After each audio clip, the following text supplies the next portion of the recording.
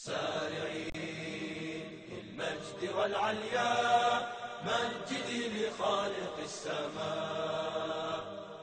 وارفع الخفاق يحمل النور المسطر رددي الله أكبر. يا موطني موطني عشت فخر المسلمين عاش الملك للعلم والوطن.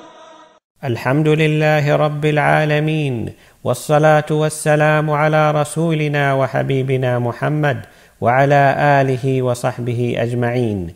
سعادة مدير إدارة التعليم العام الأستاذ عبد الجبار العوفي زملاء الأفاضل المدربين والإداريين ضيوفنا الكرام أولياء الأمور أبناء الطلاب الموهوبين. السلام عليكم ورحمة الله وبركاته.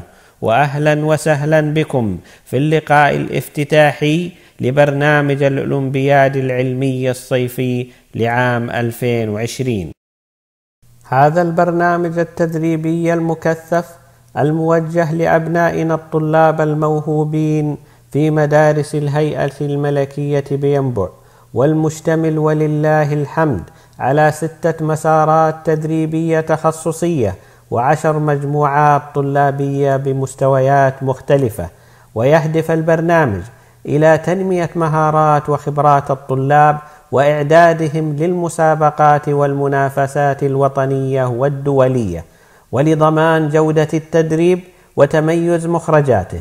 امتاز البرنامج بكفاءة مدخلاته وتكامل أدواته وتعدد خدماته. وسيمتد البرنامج بمشيئة الله تعالى لمدة شهر بواقع أربعة أيام في الأسبوع وثلاث ساعات يومية. وسنسعد بتواصلكم أولياء الأمور الأفاضل وأبناء الطلاب الموهوبين بشتى وسائل الاتصال المتاحة. سائلين العلي الكريم أن يلهمنا وإياكم السداد والتوفيق. والسلام عليكم ورحمة الله وبركاته.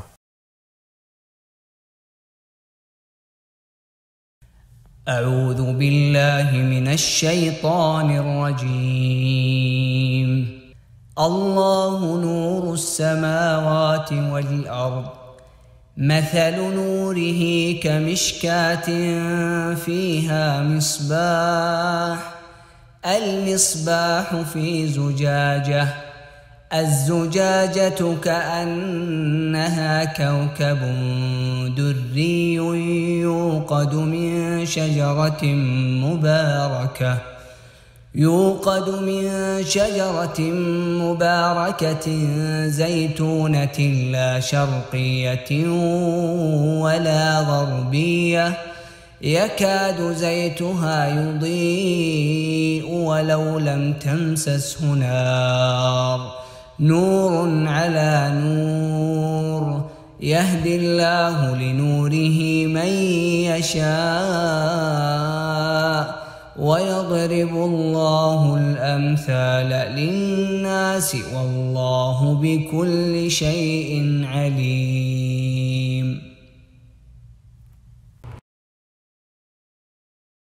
والآن مع كلمة سعادة مدير إدارة التعليم العام الأستاذ عبد الجبار بن هديبان العوفي. بسم الله الرحمن الرحيم. الحمد لله رب العالمين والصلاة والسلام على سيد المرسلين نبينا محمد وعلى آله وصحبه أجمعين. السلام عليكم ورحمة الله وبركاته. أما بعد فبداية نحمد الله عز وجل على ما من الله علينا في هذا البلد المبارك من أمن وأمان ورخاء وعافية وما أنعم به علينا من قيادة وولاة أمر. دولة عظيمة وحكومة رشيدة أثبتت جدارتها وريادتها في كل المواقف ومختلف الأحوال. وها هي في هذه الفترة العصيبة والجائحة الكبرى ترسخ بكل اقتدار عظم إدارتها لأزمة ووباء عم العالم بأجمعه وعطل مناح الحياة. والتي وفقت به ولله الحمد حكومتنا الرشيده بشكل لافت للأنظار بسرعة استجابتها مع الأحداث ومرونة آدائها وتعاطيها الأمثل مع متغيراته ومستجداته.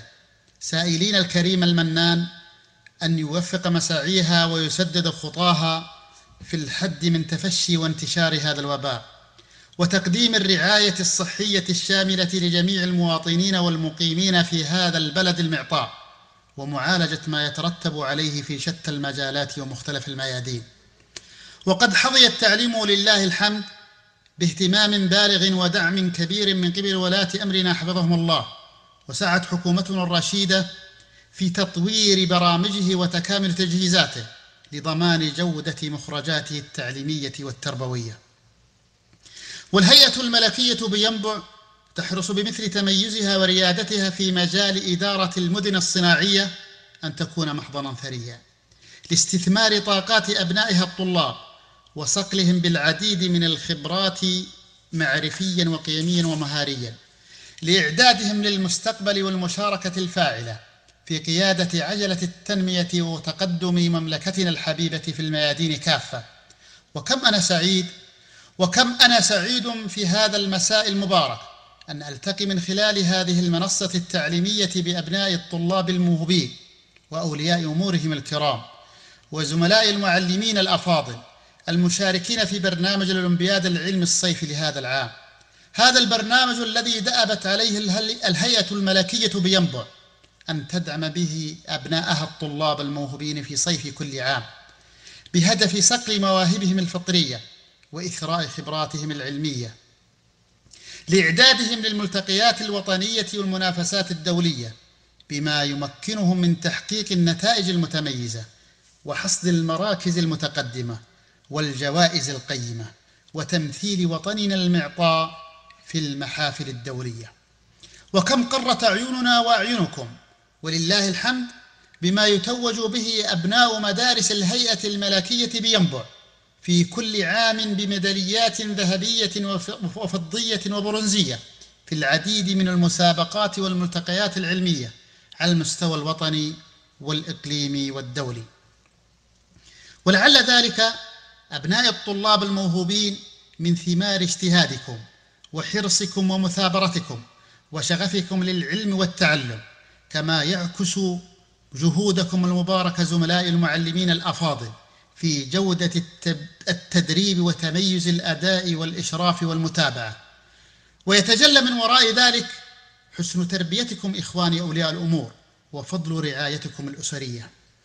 وفي الختام أتقدم بخالص الشكر والتقدير لسعادة الرئيس التنفيذي للهيئة الملكية بينبع المهندس عدنان العلوني على دعمه الدائم لجميع برامج قطاع التعليم. ورعايته المستمرة لأبنائه الطلاب. كما نثمن لسعادة مدير عام قطاع التعليم بالهيئة الملكية بينبع الدكتور ماهر الغانم على اهتمامه البالغ وسعيه الحثيث لكل ما يسهم في تطوير التعليم بالهيئة الملكية بينبع وتحسين مخرجاته ونواتجه التعليمية والتربوية. سائلا العلي الكريم أن يكلل ما بذل من جهود وإعداد لهذا البرنامج بالتوفيق والنجاح. وأن يديم علينا نعمة الأمن والأمان والرخاء والازدهار في وطننا المعطاء تحت ظل قيادة قائد مسيرتنا وبان نهضتنا خادم الحرمين الشريفين وولي عهده الأمين. والحمد لله الذي بنعمته تتم الصالحات. والسلام عليكم ورحمه الله وبركاته. نستمتع الآن بمشاهدة فيلم مسيرة التميز لعام 1441 بمركز الموهبة والإبداع.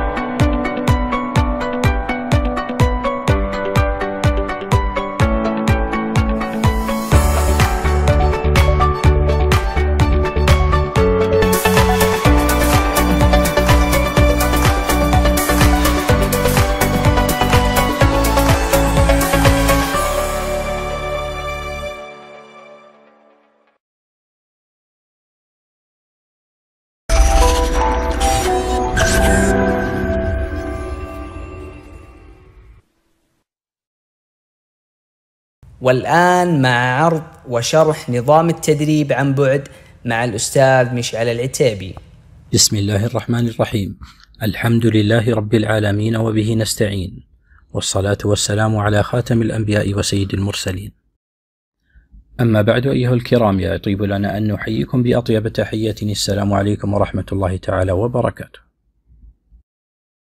ويسرنا أن نصحبكم في جولة لبعض النصائح والتوجيهات حول التعلم عن بعد. حيث نحاول في هذه الشريحة تسليط الضوء على بعض التساؤلات حول ماذا نتوقع من التعلم عن بعد. الذي سيكون النصيب الأكبر منه تعلما ذاتيا لأبنائنا الطلاب وتحملهم مسؤولية ذلك مع المتابعة المستمرة لأولياء أمورهم. وسيحرص الزملاء المعلمين والمدربين من خلال اللقاءات المباشرة على الإجابة على تساؤلات أبنائنا الطلاب. الذين ننصحهم بالدخول بشكل يومي على نظام إدارة التعلم ومتابعة المواد والواجبات الدراسية. وقد يصاحب ذلك زيادة في عدد الواجبات التي سيكلف بها أبنائنا الطلاب وذلك لقياس نسبة تعلمهم والتأكد من فهمهم الصحيح لمفردات المقرر. وكنتيجة لما سبق استعراضه سيحتاج أبنائنا الطلاب إلى استخدام أجهزة الحاسوب أو الهاتف الذكي وقتا أطول من المعتاد بالتزامن مع مراقبة أهلهم لهم. ونأمل أن يستفيد أبنائنا الطلاب ولو بشكل تدريجي حتى التكيف مع الأسلوب الجديد للتعلم. أما الآن سنستعرض معكم بعض النصائح والتوجيهات العامة والتي من أبرزها ينبغي توفر مكان هادئ وخاص ومريح لأبنائنا الطلاب ومهيئ كذلك بالمستلزمات الدراسية مع التأكيد على وجوب حضور المحاضرات أو اللقاءات المباشرة من خلال الفصول الافتراضية حيث سيكون هنالك التفاعل مباشرة مع معلميه. ولمن تعذر عليه حضور المحاضرات في وقتها ستكون مسجلة بإذن الله ليتمكن من الاطلاع عليها في وقت لاحق. ونظرا لحساسية البيانات الدخول على موقع نظام إدارة التعلم يجب أن يحرص أبناؤنا الطلاب على عدم إفشاء كلمات السر الخاصة بهم وفي نفس الوقت لا يجب عليهم أن يستخدموا حسابات تخص غيرهم ثم سنتناول الآن بعض النصائح والتوجيهات التقنية. وكون نظام إدارة التعلم يسمح باستخدام كافة الأجهزة الإلكترونية إلا أننا ننصح بعدم استخدام الهاتف الذكي أو الجوال كونه لا يحتوي على كافة الأدوات للقيام بالمهام المتطلبة من أبنائنا الطلاب. ونظرا لأن عملية التعلم عن بعد تكون في الفضاء الرقمي ينبغي أن يتوفر لديهم اتصال بالإنترنت ثابت وقوي. وتتوافر في المحلات التجارية بعض الأجهزة المقوية للإشارة. ومن المتوقع حصولهم على سرعة إنترنت عالية في حال توصيل جهاز الكمبيوتر بشبكة الإنترنت سلكيا. وفي حال استخدام الأجهزة اللوحية أو التابلت سيكون من المستحسن وجود لوحة مفاتيح وفارة من المستلزمات كذلك سماعات الرأس. ونسعد بالتواصل معنا وتلقي استفساراتكم ومتابعة شكاوى من خلال قنوات التواصل التالية. جوال المركز أو البريد الإلكتروني. أو حسابي المركزي على شبكة التواصل الاجتماعي تويتر أو استخدام خدمة توك تو المتوفرة في موقع نظام إدارة تعلمي عن بعد وتقبلوا أطيب التحايا والسلام عليكم ورحمة الله تعالى وبركاته.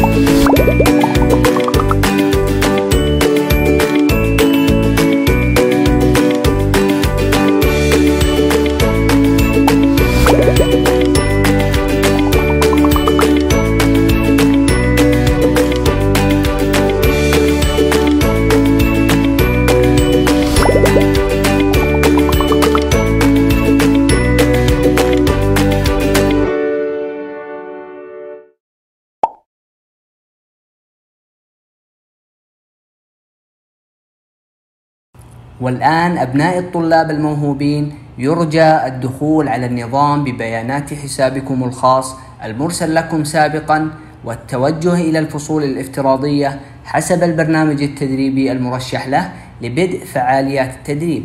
وبالله التوفيق.